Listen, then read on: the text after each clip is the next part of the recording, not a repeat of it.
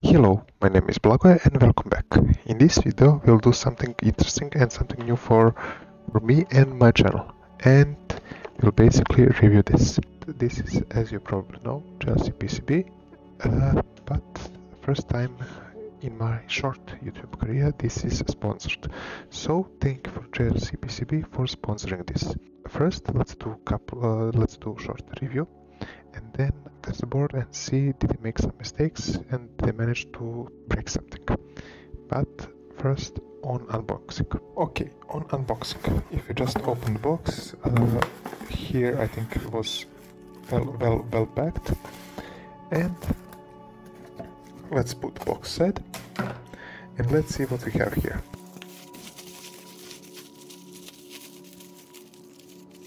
Okay so five same piece so I will take a look at only one. Good packing material. I will move this everything to the side. And now let's check only one example. So this is actually what I have ordered. And this is uh, the small USB hacking device that is using ESP32S2 uh, with HD functionality that is important because with this we can uh, emulate uh, keyboard, mouse presses and basically PC will see this device as, as USB keyboard. On the back end we have a simple circuit that is actually necessary for, for this to work and one fully addressable RGB LED diode.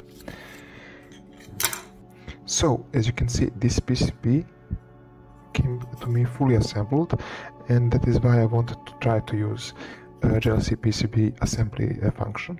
And I think it went pretty well. So you see a bit larger panel. I think this was needed for for uh, mounting purposes when oh, sorry when PCB was actually assembled. So for them to uh, have to have possibility to, to place it inside the tool. So let's see now how how easily this can break off. So let's take a look at this one example and all the others should be should be the same. I think the quality is actually excellent. So i don't know if you can see and this will zoom but i think everything is up to part so now yeah we just need to break off these sections because they were needed. Uh, when you want to place the components so you need to place this into pick and place machine and machine will actually place the components in. That's the same thing for the this side. So because I ordered two side assembly this was a bit more expensive but these parts were needed for this kind of assembly. So let's see how easily I can break this off, I prepared um, one pliers, but I think that I will try first um, by hand and to see how how how easy it is to break off. Um, I'm looking for for uh, for critical part that I would like to break off nicely, and I would like to break off them first. So I would like to break off this part first and this part here as well. So, hmm, let me try that.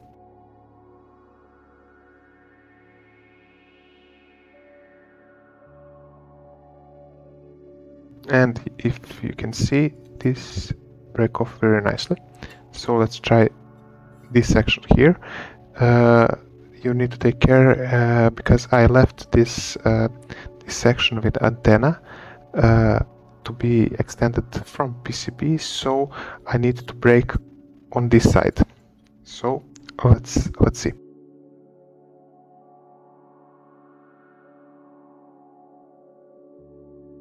Yeah, this is much better.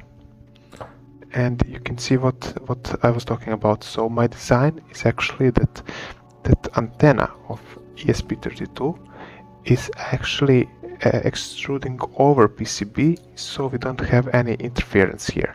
So that is by design now I think simply we can break off this uh, side pieces because yeah they're not anything not critical and voila. Let's camera zoom. We have our USB ESP32S2 hacking device. This should be everything that you need so this this is actually bare minimum development board which you can use for for example ESP now connection and HDD functionality. So let me let me just plug it into PC and see what happens. Okay nothing happens and let, let me show you. If I take my laptop here and I try to place USB inside we can see that there is a little bit of wiggle room which I don't don't like. And especially if I want to if I want to place this inside if I want to place this inside my PC that's again to a bit of wiggle room. Let me show you. So let me show you. You see there's a bit of wiggle room so maybe what I needed is actually to to, to, to use thicker board which is able uh, to, uh, to, be selected from JLC PCBs but I think this is not a big deal because actually I can just take uh, some piece of paper and just apply it to this side because again this side zoom has has my logo on it but yeah it's not uh, functional with functional importance. So either if I can do that or maybe if even just I can apply a bunch of solder on these pads here I think that I would I would uh, get much tighter fix. Uh, let me try to pad that back and I will get back to you. And let's test with this piece of uh, cardboard cutout and I think this solution worked let me show you so maybe it's not ideal but we now don't have basically any wiggle room. But let me check why my PC is detecting this ESP32. Uh, I will try to add this one eternity later, but actually solution is pretty simple. Um, this is new ESP32 and on, on, on, on it we don't have any code and currently this this board isn't into in in uh, boot mode or download mode because I need to place it there, of course. But uh, the genius that I am, and I wanted to actually actually uh, make this as efficient as possible. I didn't put boot pins. So what I did, I actually I actually put this to uh, let's camera just zoom. These two pads here. So for reset and for boot. So if I want to reset this board I just need to shorten these two pads. And if I want it to be in boot mode I need just to shorten these two pads. So and at this point I think easiest thing for me is easiest thing for me is let's zoom. Come on. Is just to uh, solder these two pads. That's uh, that's uh, boot uh, written below them. And I will be in the boot mode. Give me one second and I will be back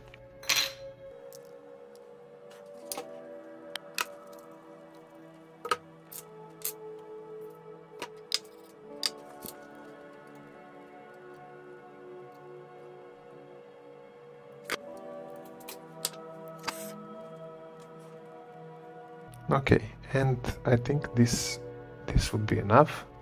So let's just let us use again cardboard insert and let's check do we have something? And it seems that something is happening let me open device manager and exactly okay. We see ESP32S2 okay excellent. So our board is working so in I would now just like to try to compile short example using uh, FastLED library in order for this uh, this this uh, uh, fully addressable RGB LED to work.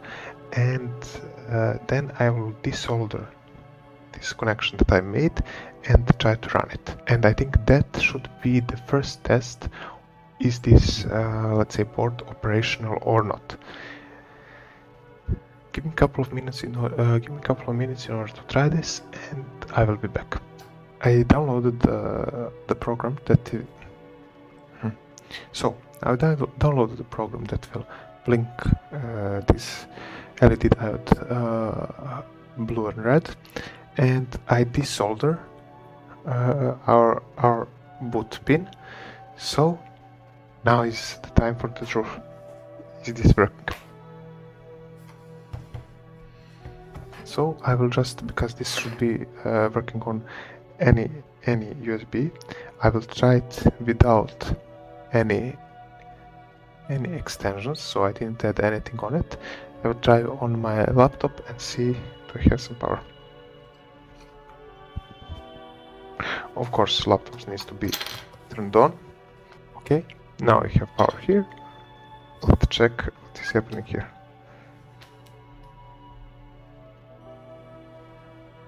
So, exactly what you see. The LED is blinking and this means that we have working working product. But if I just take a USB extension cable, I think that I can show you more nicely. So there is still the problem.